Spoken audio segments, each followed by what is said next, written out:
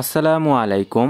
শৌখিনতার তথ্যে শৌখিন মানুষদের জন্য আজকে যে তথ্য থাকছে তা হলো, ফিন্স পাখি ডিম দেওয়ার পর করণীয়। অর্থাৎ ফিন্স পাখি ডিম দেওয়ার পর তাদের কীভাবে যত্ন পরিচর্যা করবেন এবং কীভাবে খাবার দিবেন, কি খাবার দেবেন ইত্যাদি বিস্তারিত। ফিন্স পাখি। আপনারা জানেন, ফিন্স পাখি অতিশয় ছোট্ট একটি পাখি, কিন্তু পাখি ছোটোর তুলনায় তারা অধিক ডিম বাচ্চা করে থাকে। এক একজোড়া ফিন্স পাখি আট থেকে বারোটি পর্যন্ত ডিম দিয়ে থাকে এবং দেখা যায় সব ডিমই তারা ফুটাতে সক্ষম হয়। মূলত পাখিকে ডিম দেওয়ার আগেই পাখির শরীর ভালো রাখার জন্য খাবার, মেডিসিন, পরিচর্যা ইত্যাদি করে পাখিকে রেডি করতে হয়। কিন্তু যখন পাখি ডিম দেয়, ডিম দেওয়ার পর পাখি যখন ডিমে তা দেওয়া শুরু করে, তখন কন্টিনিউয়াসলি পাখিকে ডিমের ওপর বসে থাকতে হয়। এতে করে তারা খাবার কম খেতে পারে, খাবার খাওয়ার সময় কম পেয়ে থাকে।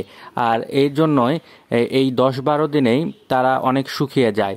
আর আপনাকে এই দশ বারো দিনে এমন কিছু খাবার সাপ্লাই করতে হবে যেন তারা ডিমের উপর বসে থাকলেও তাদের শরীরের ঘাটতিটা পূরণ করতে পারে।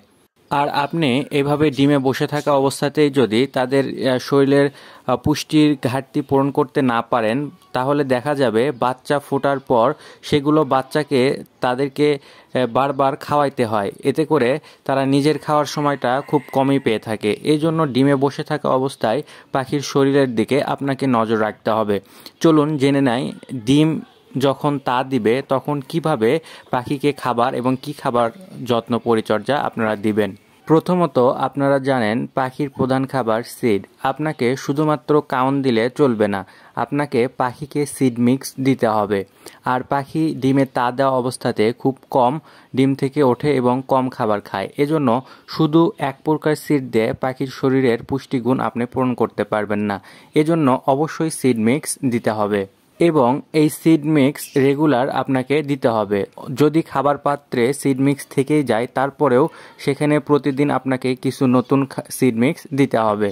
নতুন সিড মিক্স এর জন্য দিতে হবে। যখন সকালে আপনারা সিড মিক্সে ফু দিবেন, দেখবেন যে সিটগুলো তারা বেশি খাইছে, সেগুলোরই সোবলা পড়ে যাবে। আর সোবলা পড়ে যাবে মানে ওই সিটগুলো কিন্তু শেষ হয়ে গেছে। এজন্য যখন নতুন সিট দিবেন, সেই সিটগুলো আবার সেখানে যাবে, পাখি তার প্রয়োজনীয় ওখান থেকে খেয়েই তার শরীরের পুষ্টি পেয়ে যাবে। আর একটা বিষয়, সেটি হলো পানি। পাখি খাবার কম খেলেও তারা ডিম থেকে উঠে এসে পানি খায়। এজন্য আপনাকে পানিটা সব সময় ভালো রাখতে হবে। আপনি একদিন পানি দিয়ে পাঁচ দিন রাখবেন, এভাবে হবে না। বরং প্রতিদিন আপনাকে পানিটা চেঞ্জ করে দিতে হবে এবং যদি শীতের কাল হয়, তাহলে অবশ্যই সন্ধ্যার আগে পানিটা খাঁচা থেকে বের করে নেবেন এবং পরের দিন সকালে যখন পানি দিবেন, পানিটা একটু উষ্ণ গরম করে খাঁচার মধ্যে দিয়ে দিবেন। প্রতিদিন সকালে যখন পানি চেঞ্জ করে দিবেন পাখি ডিমে তা দেওয়ার যে বারো, চোদ্দ দিন, এই চোদ্দ দিনে আপনি হালকা করে আপনি পানিতে ক্যালসিয়াম বা জিঙ্ক এগুলো দিতে পারেন। তবে বাচ্চা ফোটার পরে আর দেয়া যাবে না। এরপর অবশ্যই এক ফুট আপনারা সপ্তাহে দু এক দিন অবশ্যই অবশ্যই রাখবেন। এক ফুট পাখির শরীরে খুব দ্রুত প্রোটিনের চাহিদা পূরণ করে থাকে।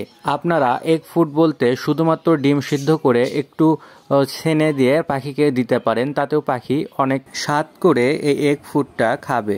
এরপরে যেটা দিতে হবে, সেটি হলো সফট ফুড যদিও পাখি খুব বেশি খাবে না, তারা ডিমেই বেশি সময় দিবে, তারপরেও আপনাকে এগুলো খাঁচার মধ্যে দিয়ে দিতে হবে। আর এক ফুড যখন দিবেন পুরোপুরি দিনের মধ্যে না খেলে বিকেলবেলা সেটা বের করে ফেলবেন এবং সফট ফুড সফট ফুড সপ্তাহে অবশ্যই দুই তিন দিন দিবেন। সফট ফুডও তারা শেষ করতে পারবে না, কিন্তু বিকেলবেলা আপনারা খাবারটা খাঁচা থেকে বের করে নেবেন। আশা করি আজকের শৌখিনতার তথ্য আপনার উপকারে আসবে। পরবর্তী শৌখিনতার তথ্য পেতে চ্যানেলটি সাবস্ক্রাইব করুন এবং ভিডিওটি ভালো লাগলে লাইক করুন। ধন্যবাদ।